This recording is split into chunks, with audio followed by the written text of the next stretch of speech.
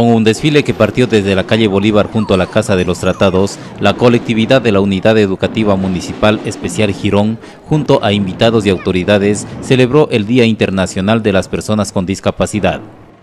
Tras el recorrido, se concentraron en la calle Eugenio Espejo, donde además se cumplió la feria inclusiva con la participación de los anfitriones y entidades invitadas locales y desde la ciudad de Cuenca. No somos personas con discapacidad, ni especiales, ni nada, ni, ni siquiera tenemos un logo que nos dice somos doctores, somos ingenieros, somos... Antes de eso somos personas, seres humanos. El alcalde encargado mencionó estadísticas. Eh, las estadísticas de abril del 2015 muestran que en el Ecuador tenemos 416 mil personas con discapacidad.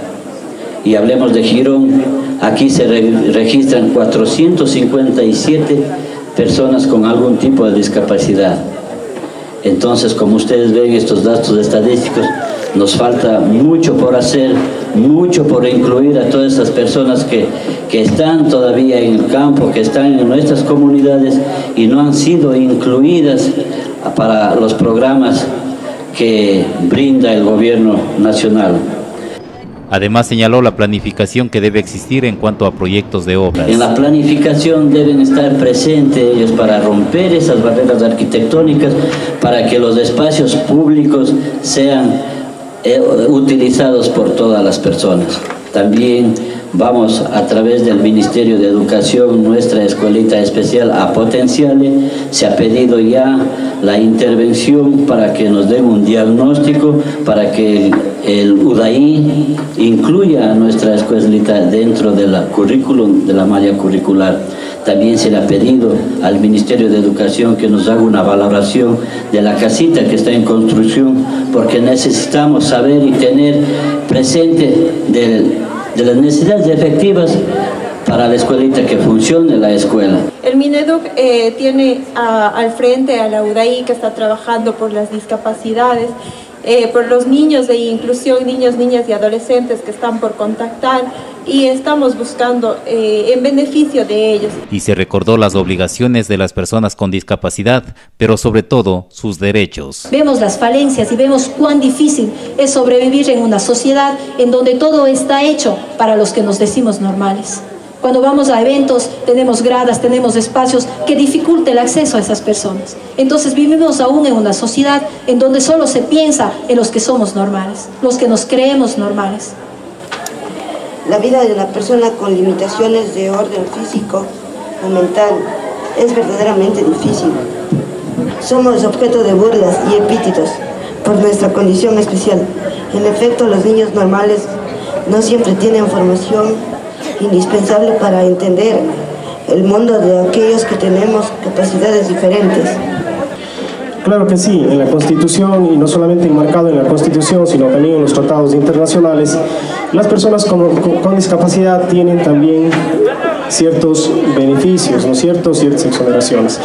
En el caso, inclusive, del pago de impuestos, por ejemplo, ¿no?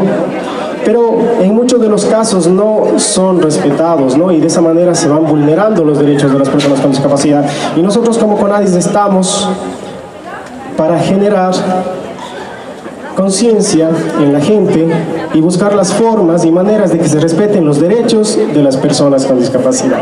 El objetivo debe centrarse hacia el mejoramiento de la calidad de vida. Existen cuatro tipos de discapacidad, la física, la auditiva, la visual y la intelectual tenemos que trabajar a la par por todas. Ahí nosotros llegamos a cumplir y llegar a lo que es la mejor calidad de vida de las personas con discapacidad. Y bien es cierto, pues, como decía Jesús en su Biblia mismo, ¿de qué nos sirve ser luz si no vamos a alumbrar el camino de los demás?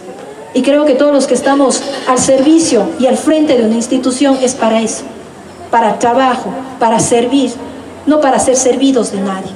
Entonces, pues yo creo que todos los que estamos al frente de alguna institución estamos haciendo eso, sirviendo y brindando nuestros servicios para que las personas que más lo necesiten puedan beneficiarse de aquello. Estamos para apoyarles. La señora directora mencionaba que espera el apoyo de nosotros como CONADIS. estamos para meter el hombro. Yo creo que cada una de las instituciones que estamos aquí celebrando este día, el Día Internacional de las Personas con Discapacidad, estamos trabajando por aquello. Pero fue un día también para demostrar habilidades artísticas y festejar con alegría espontánea. La parte artística la pusieron el grupo de la Escuela Especial Girón. El grupo folclórico local Leoquina, que puso a bailar a todos. Y cerró la programación la orquesta Mundo Sin Barreras de la fundación del mismo nombre.